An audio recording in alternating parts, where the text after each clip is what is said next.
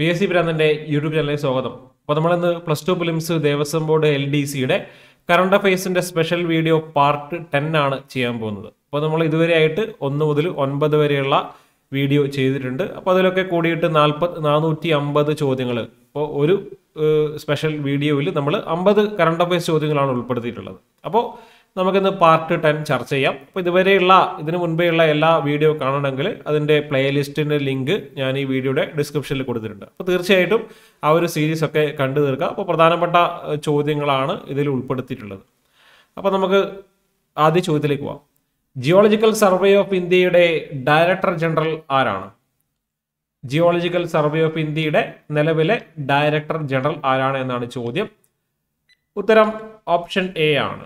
Doctor S Raju ആണ് geological survey of ഇന്ത്യയുടെ director രണ്ടായിരത്തി ഇരുപത്തിരണ്ട് സന്തോഷ് ട്രോഫിയുമായി ബന്ധപ്പെട്ട ശരിയായത് ഏതൊക്കെ? അപ്പോൾ ഇതൊരു സ്റ്റേറ്റ്മെന്റ് ചോദ്യമാണ്. അപ്പോൾ ഇത് നിങ്ങൾ പോസ് ചെയ്തിട്ട് നിങ്ങൾ വായിച്ചു നോക്കണം. അപ്പോൾ നാല് സ്റ്റേറ്റ്മെന്റ് തന്നിട്ടുണ്ട്. കേരളം ചാമ്പ്യന്മാർ ഫൈനലിൽ തോൽപ്പിച്ചത് കർണാടകയെ കേരളത്തിന്റെ അഞ്ചാമത് കിരീടം കേരള ടീമിനെ നയിച്ചത് ജിജോ ജോസഫ്. അപ്പോൾ ഇതിൽ ഏതൊക്കെയാണ് ശരി എന്നത് ചോദിച്ചാൽ ഉത്തരം ഓപ്ഷൻ സി ആണ്. One and four only Keralam ചാമ്പ്യന്മാരാണ്. Kerala ടീമിന്റെ ക്യാപ്റ്റൻ ജിജോ ജോസഫ് ആണ് മറ്റ് രണ്ട് ഫാക്റ്റുകളും തെറ്റാണ്. രണ്ടാമത് കേലോ ഇന്ത്യ യൂണിവേഴ്സിറ്റി ഗെയിംസിന്റെ ഭാഗ്യ ചിഹ്നം ഏതാണ്? രണ്ടാമത് കേലോ ഇന്ത്യ യൂണിവേഴ്സിറ്റി ഗെയിംസിന്റെ ഒഫീഷ്യൽ മാസ്കോട്ട് ഏതാണ്? ഉത്തരം ഓപ്ഷൻ സി ആണ്. വീരയാണ്. താഴെ പറയുന്നവയിൽ ശരിയായ ജോഡി അല്ല ജോഡികൾ ഏതൊക്കെയാണ്? താഴെ പറയുന്നവയിൽ ശരിയായ ജോഡി അല്ലെങ്കിൽ ജോഡികൾ ഏതൊക്കെയാണ് എന്നാണ് ചോദ്യം. അപ്പോൾ ഉത്തരം ഓപ്ഷൻ ബി ആണ്. വൺ ടു ത്രീ ഓൺലി ആണ്. അപ്പോൾ ഒന്നും രണ്ടും മൂന്നും ജോഡികൾ ശരിയാണ്. അപ്പോൾ നാലാമത്തെ ജോഡി തെറ്റാണ്. അപ്പോൾ മുഖ്യ തെരഞ്ഞെടുപ്പ് കമ്മീഷണർ രാജീവ്കുമാറാണ്. കേരളത്തിൽ ബസ് ചാർജ് വർധനവിന് ശുപാർശ ചെയ്ത കമ്മിറ്റി താഴെ പറയുന്ന പോലെ ഏതാണ് കേരളത്തിൽ ബസ് ചാർജ് വർധവിന് വർധനവിന് വേണ്ടി ശുപാർശ ചെയ്ത കമ്മിറ്റിയാണ് option B justice Ramachandran commission. രണ്ടായിരത്തി ഇരുപത്തിരണ്ടിലെ വനിതാ ലോകകപ്പ് ക്രിക്കറ്റ് ഫൈനൽ മത്സരത്തിൽ മാച്ച് റെഫറി ആയിരുന്ന വ്യക്തി ആരാണ്? രണ്ടായിരത്തി ഇരുപത്തിരണ്ട് വനിതാ ലോകകപ്പ് ക്രിക്കറ്റ് അതിന്റെ ഫൈനൽ മത്സരത്തിലെ മാച്ച് റെഫറിയാണ് ജി എസ് ലക്ഷ്മി ഇന്ത്യക്കാരിയായിട്ടുള്ള ജി എസ് ലക്ഷ്മി. രണ്ടായിരത്തി ഇരുപത്തിരണ്ട് ലോറസ് സ്പോർട്സ് അവാർഡുമായി ബന്ധപ്പെട്ട വസ്തുതകൾ ഏതൊക്കെ? ലോറസ് സ്പോർട്സ് അവാർഡുമായി ബന്ധപ്പെട്ട വസ്തുതകൾ മൂന്ന് വസ്തുതകൾ അതിനുണ്ട് മികച്ച പുരുഷ താരം മാക്സ് വസ്തപ്പൻ എലൈൻ തോംസൺ മികച്ച വനിതാ താരം ബ്രസീൽ പുരുഷ football team team of the year. അപ്പോൾ ഇതിൽ ഏതൊക്കെയാണ് ശരിയെന്ന് വെച്ചാൽ വൺ ആൻഡ് ടു ഓൺലി ആണ്. മൂന്നാമത്തെ സ്റ്റേറ്റ്മെന്റ് തെറ്റാണ്. ബ്രസീലിന്റെ പുരുഷ ഫുട്ബോൾ ടീമല്ല ഇറ്റലിയുടെ പുരുഷ ഫുട്ബോൾ ടീമാണ്. മയാമി ഓപ്പൺ ടെന്നീസ് കിരീടം നേടുന്ന ഏറ്റവും പ്രായം കുറഞ്ഞ താരം. മയാമി ഓപ്പൺ ടെന്നീസ് കിരീടം നേടുന്ന ഏറ്റവും പ്രായം കുറഞ്ഞ പുരുഷ താരം ആണ് ഓപ്ഷൻ സി കാർലോസ് അൽക്കാരസ്. ഇന്ത്യയിലെ ആദ്യമായി വാണിജ്യ വിമാനമായ ഡോർണിയർ ടു ടു എയ്റ്റ് തദ്ദേശീയമായി നിർമ്മിച്ചത് ഏത് സ്ഥാപനമാണ്? ഇന്ത്യയിൽ ആദ്യമായിട്ട് വാണിജ്യ വിമാനമായിട്ടുള്ള ഡോർണിയർ ടു ടു എയ്റ്റ് തദ്ദേശീയമായി നിർമ്മിച്ചിട്ടുള്ളത് എച്ച് എ എൽ ആണ്. ഹിന്ദുസ്ഥാൻ എയറോനോട്ടിക്സ് ലിമിറ്റഡ് വീണപൂവ് വിത്തും വൃക്ഷവും എന്ന പഠന ഗ്രന്ഥം ആരുടേതാണ്? വീണപൂവ് വിത്തും വൃക്ഷവും എന്ന പഠന ഗ്രന്ഥം ആരുടേതാണ് എന്നാണ് ചോദ്യം. ഉത്തരം ഓപ്ഷൻ ഡി ആണ്. കെ ജയകുമാറിന്റെയാണ് യു എസിന്റെ മാലിയിലേക്കുള്ള നയതന്ത്ര പ്രതിനിധിയായിട്ട് നിയമിതയായ ഇന്ത്യൻ വംശജയാരാണ്. ഇപ്പൊ യു എസിന്റെ മാലിയിലേക്കുള്ള നയതന്ത്ര പ്രതിനിധി ഒരു ഇന്ത്യൻ വംശജിയാണ്. ആരാണ് ആ വ്യക്തി? ഉത്തര ഓപ്ഷൻ എ ആണ്. രചന സജിദേവ കോർഹോനൻ. രചന സജിദേവ കോർഹോനൻ. എല്ലാ ഗ്രാമങ്ങളിലും ലൈബ്രറികൾ നിർമ്മിച്ച ഇന്ത്യയിലെ ആദ്യ ജില്ലയായ ജാംതാര ഏത് സംസ്ഥാനത്താണ്? എല്ലാ ഗ്രാമങ്ങളിലും കമ്മ്യൂണിറ്റി ലൈബ്രറികൾ നിർമ്മിച്ച ഇന്ത്യയിലെ ആദ്യ ജില്ലയാണ് ജാംതാര. ജാംതാര സ്ഥിതി ചെയ്യുന്നത് ജാർഖണ്ഡിലാണ്. ഓപ്ഷൻ ഡി ആണ് ഉത്തരം. രണ്ടായിരത്തി ഇരുപത്തി മൂന്ന് ഇരുപത്തിനാലിൽ പുറത്തിറങ്ങാൻ പോകുന്ന ഇന്ത്യ തദ്ദേശീയമായി വികസിപ്പിച്ച വാണിജ്യ അടിസ്ഥാനത്തിലുള്ള ഇലക്ട്രോണിക് ചിപ്പുകൾ ഏതൊക്കെയാണ്? രണ്ടായിരത്തി ഇരുപത്തി മൂന്ന് ഇരുപത്തിനാല് വർഷങ്ങളിലാണ് ഈ ഒരു തദ്ദേശീയമായി നിർമ്മിച്ച വാണിജ്യ അടിസ്ഥാനത്തിലുള്ള ഇലക്ട്രോണിക് ചിപ്പുകൾ പുറത്തിറങ്ങാൻ പോകുന്നത്. അതിന്റെ പേരാണ് ഓപ്ഷൻ എ ശക്തി വേഗ. ഓൺലൈൻ ബാങ്ക് തട്ടിപ്പുകളെക്കുറിച്ച് ജനങ്ങളെ ബോധവൽക്കരിക്കാൻ ആർ ബി ഐ പുറത്തിറക്കിയ കാർട്ടൂൺ പുസ്തകം ഏതാണ്? ഓൺലൈൻ ബാങ്ക് തട്ടിപ്പുകളെ കുറിച്ച് ജനങ്ങളെ ബോധവൽക്കരിക്കാൻ റിസർവ് ബാങ്ക് പുറത്തിറക്കിയ കാർട്ടൂൺ പുസ്തകത്തിന്റെ പേരാണ് option B. Raju and the forty thieves Raju and the forty thieves ഈ വർഷത്തെ പത്മഭൂഷൺ പുരസ്കാരം ലഭിച്ച കായിക താരമാരാണ്. ഈ വർഷം പത്മഭൂഷൺ പുരസ്കാരം ലഭിച്ചതിൽ ഒരു കായിക താരം ഉൾപ്പെട്ടിട്ടുണ്ട്. ആരാണ് ആ വ്യക്തി? ഉത്തരം option B Devendra Jhajharia option B Devendra Jhajharia ഈ വർഷത്തെ പത്മഭൂഷൺ പുരസ്കാരം ലഭിച്ച മൈക്രോസോഫ്റ്റിന്റെ സിഇഒ ആരാണ്? ഈ വർഷം പത്മഭൂഷൺ പുരസ്കാരം ലഭിച്ച മൈക്രോസോഫ്റ്റിന്റെ സിഇഒ ആണ് ഓപ്ഷൻ എ സത്യനാഥല്ല. ഈ വർഷം എത്ര പേർക്കാണ് പത്മശ്രീ പുരസ്കാരം ലഭിച്ചത്? എത്ര പേർക്കാണ് ഇപ്രാവശ്യം പത്മശ്രീ പുരസ്കാരം നൽകിയിട്ടുള്ളത്?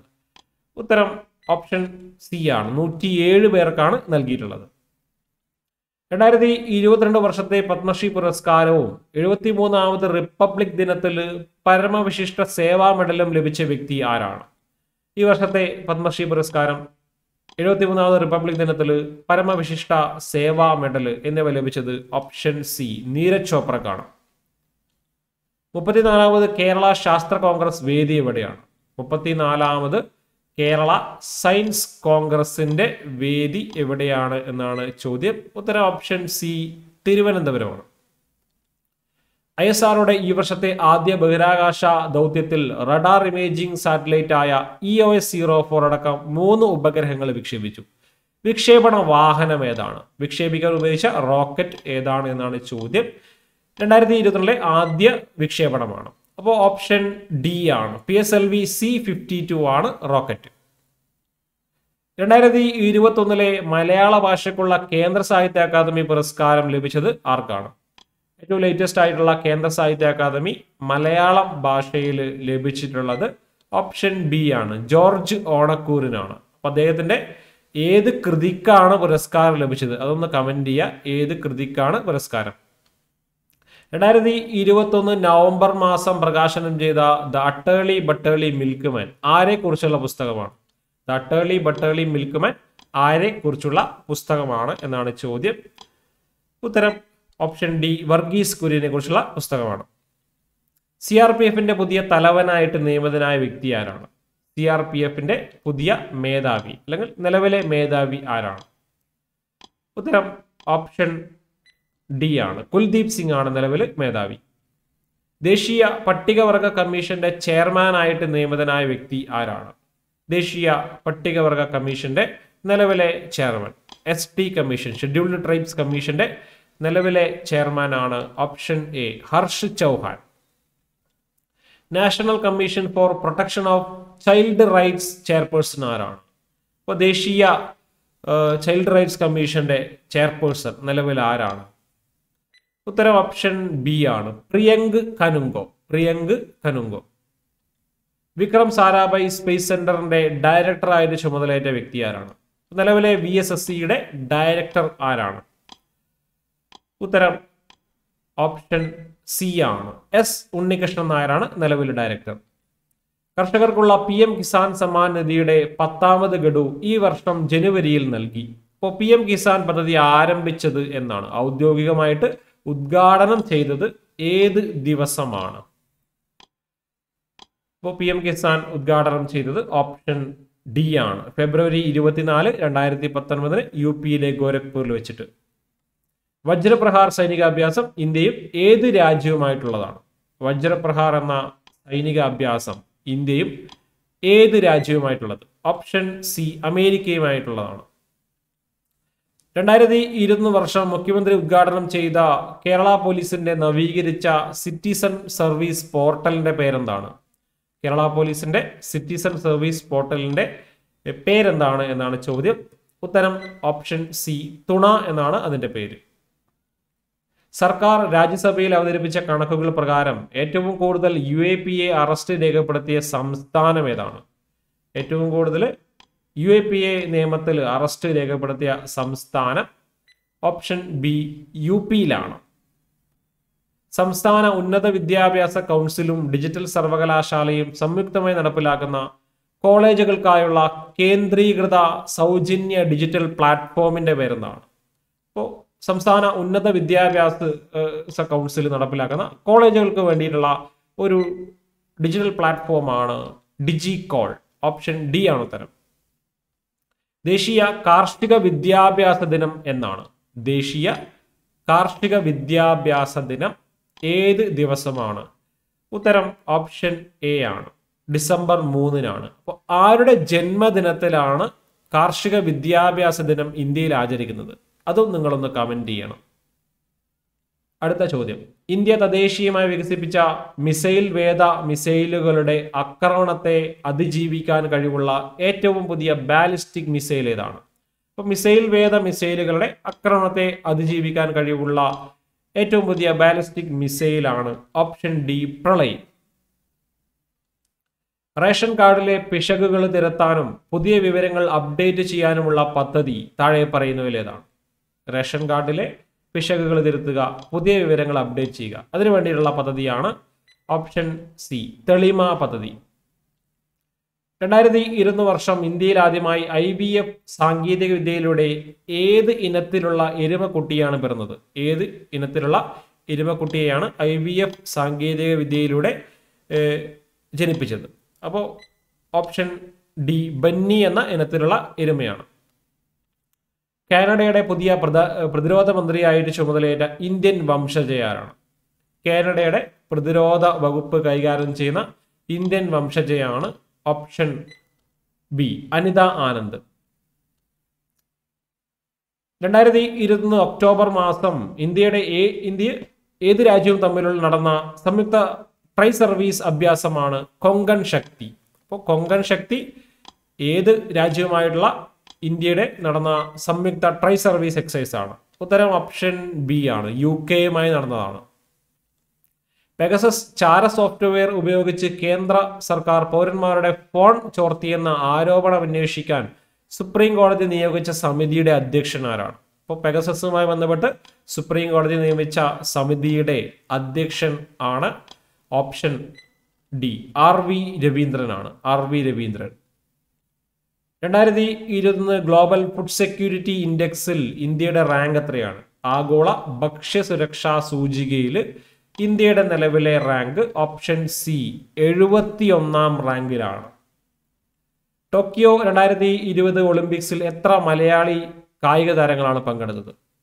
ടോക്കിയോ രണ്ടായിരത്തി ഇരുപത് ഒളിമ്പിക്സിൽ എത്ര മലയാളി കായിക താരങ്ങൾ ഉത്തരം ഓപ്ഷൻ സി ആണ്. ഒൻപത് മലയാളികൾ രണ്ടായിരത്തി ഇരുന്ന് വർഷം അന്തരിച്ച പ്രമുഖ ഹിന്ദി ചലച്ചിത്ര നടൻ ദിലീപ് കുമാറിന്റെ യഥാർത്ഥ പേര്. ദിലീപ് കുമാറിന്റെ യഥാർത്ഥ പേരെന്താണ്? ഉത്തരം ഓപ്ഷൻ ഡി യൂസഫ് ഖാൻ ആണ് കാർഷികേതര കാർഷിക മേഖലകളിൽ ഗ്രാമീണ തൊഴിലാളികൾക്ക് ലഭിക്കുന്ന വേതനത്തിൽ രാജ്യത്ത് മുന്നിലുള്ള സംസ്ഥാനം ഏതാണ്? കാർഷികേതര കാർഷിക മേഖലകളിൽ ഗ്രാമീണ തൊഴിലാളികൾക്ക് ഏറ്റവും കൂടുതൽ വേതനം ലഭിക്കുന്നത് കേരളത്തിലാണ്. ഓപ്ഷൻ ഡി ആണ് ഉത്തരം. രണ്ടായിരത്തി ഇരുപത്തൊന്ന് മിസ് കേരളയായിട്ട് തിരഞ്ഞെടുക്കപ്പെട്ട വ്യക്തി ആരാണ്? രണ്ടായിരത്തി ഇരുപത്തിയൊന്ന് എഡീഷൻ മിസ് കേരള ആരാണ്? ഉത്തരം ഓപ്ഷൻ ബി ഗോപിക സുരേഷ് ആണ്. ഏത് സംസ്ഥാനത്തിലാണ് ഇന്ത്യയിലെ ഏറ്റവും വലിയ ആരോമാറ്റിക് ഗാർഡൻ നിലവിൽ വന്നത്? ഇന്ത്യയിലെ ഏറ്റവും വലിയ ഏറോമാറ്റിക് ഗാർഡൻ ഏത് സംസ്ഥാനത്തിലാണ് നിലവിൽ വന്നത് ഉത്തരം ഓപ്ഷൻ സി ഉത്തരാഖണ്ഡിലാണ്. രണ്ടായിരത്തി ഇരുന്ന് ഒക്ടോബർ മാസം നാഗാലാൻഡിൽ നിന്നും കണ്ടെത്തിയ പ്ലാറ്റിയോമിയ കോഹിമെൻസിസ് താഴെ പറയുന്നവയിൽ എന്തുമായി ബന്ധപ്പെട്ടതാണ്? പ്ലാറ്റിയോമിയ കോഹിമെൻസിസ് ഏത് ജീവി ഇനമാണ്? ഉത്തരം ഓപ്ഷൻ സി ചീവീഡാണ് ചീവീഡ് അഥവാ cicada. World travel mart India responsible tourism one two watch പുരസ്കാരത്തിന് അർഹമായിട്ടുള്ള കേരളത്തിലെ പദ്ധതി ഏതാണ്? വേൾഡ് ട്രാവൽ മാർട്ടിന്റെ വൺ ടു വാച്ച് പുരസ്കാരം ലഭിച്ച കേരളത്തിലെ ടൂറിസം കേന്ദ്രമാണ് ഓപ്ഷൻ ഡി അയമനമാണ്. കേരളത്തിലെ ഏത് മെഡിക്കൽ കോളേജിലാണ് സർക്കാർ മേഖലയിലെ ആദ്യ ന്യൂറോ കാത്ത് ലാബ് ആരംഭിച്ചത്? ഇപ്പോൾ സർക്കാർ മേഖലയിൽ ആദ്യമായിട്ട് ന്യൂറോ കാത്ത് ലാബ് സ്ഥാപിച്ചത് ഓപ്ഷൻ ബി തിരുവനന്തപുരം മെഡിക്കൽ കോളേജിലാണ്. രാജ്യത്തെ ആദ്യ stand alone metal debit card അവതരിപ്പിച്ച ബാങ്ക് ഏതാണ്? ഇന്ത്യയിലെ ആദ്യമായിട്ട് stand alone metal debit card അവതരിപ്പിച്ചത് option B I D F C first bank ആണ് I D F C first bank. രണ്ടായിരത്തി ഇരുന്ന് ഡിസംബറിൽ ഹെലികോപ്റ്റർ അപകടത്തിൽ മരണപ്പെട്ട ജനറൽ ബിപിൻ റാവത്ത് താഴെ പറയുന്നവയിൽ ഏത് പദവിയാണ് വഹിച്ചിരുന്നത്? ഏത് പദവി വഹിച്ചിരുന്ന വ്യക്തിയാണ് ജനറൽ ബിപിൻ റാവത്ത്? ഉത്തരം ഓപ്ഷൻ ഡി ആണ്. അദ്ദേഹം സംയുക്ത സേനാ മേധാവിയാണ്. ചീഫ് ഓഫ് ഡിഫൻസ് സ്റ്റാഫ് ആയിരുന്നു അദ്ദേഹം. രണ്ടായിരത്തി ഇരുന്ന് ഡിസംബർ മാസം ഇന്ത്യയിൽ നിന്നും റംസാർ പട്ടികയിൽ ഉൾപ്പെട്ട ഹൈദർപൂർ തണ്ണീർത്തടം എവിടെയാണ്? ഹൈദർപൂർ വെറ്റ്ലാൻഡ്സ് ഏത് സംസ്ഥാനത്താണ്? ഉത്തരം ഓപ്ഷൻ ഡി യു പിയിലാണ്. അപ്പോൾ അമ്പത് ചോദ്യങ്ങളായിരിക്കുകയാണ്. അപ്പോൾ അതിന്റെ കൃത്യമായിട്ട് നിങ്ങൾ അതിന്റെ ഉത്തരം അറിഞ്ഞിരിക്കുക. അപ്പോൾ അത് നിങ്ങൾ വീണ്ടും ഒന്ന് റിവൈസ് ചെയ്യണം. അതിൽ നിങ്ങൾ സൗണ്ട് മ്യൂട്ടാക്കി വെച്ചിട്ട് ആ ഹൈലൈറ്റ് ചെയ്യുന്നതിന് മുൻപേ തന്നെ ഉത്തരം പറയാൻ പറ്റുമോ എന്ന് ശ്രമിക്കുക. അപ്പം അങ്ങനെ മാത്രമേ റിവിഷനിലൂടെ മാത്രമേ ഇത്രയും ചോദ്യങ്ങൾ ചുരുങ്ങിയ സമയത്ത് നമുക്ക് പഠിക്കാൻ പറ്റുള്ളൂ. അപ്പോൾ അടുത്ത ദിവസം പുതിയ ഒരു രണ്ടാം പേസ് വീഡിയോ ആയിട്ട് കാണാം. താങ്ക്